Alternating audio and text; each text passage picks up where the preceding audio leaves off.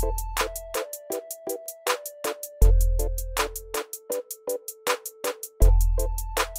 La question environnementale euh, est un sujet transversal pour oser le féminisme. C'est quelque chose qu'on va avoir à l'esprit dans l'ensemble des actions qu'on organise, euh, donc euh, sur des réflexions logistiques telles qu'un choix de lieu, un choix de traiteur, un achat de matériel.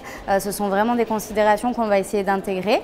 Et d'un point de vue plus large, le point de vue des analyses, pour nous, il y a des liens très forts entre le système patriarcal, le système capitaliste et le système colonial.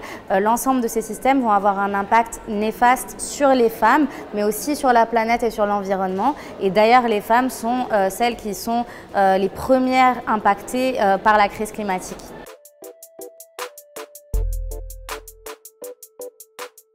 La durabilité des produits est un sujet pour nous, euh, mais c'est quelque chose qu'on va réfléchir en, complémentarité avec une volonté euh, d'éviter les injonctions qui pèsent trop sur les femmes.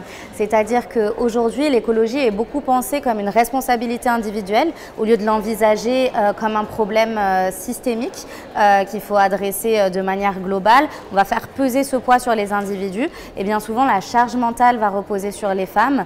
on peut citer l'exemple des couches lavables. Alors euh, les couches jetables sont moins écologiques, mais qui va laver euh, les couches lavables? Bien souvent, ce sont les femmes.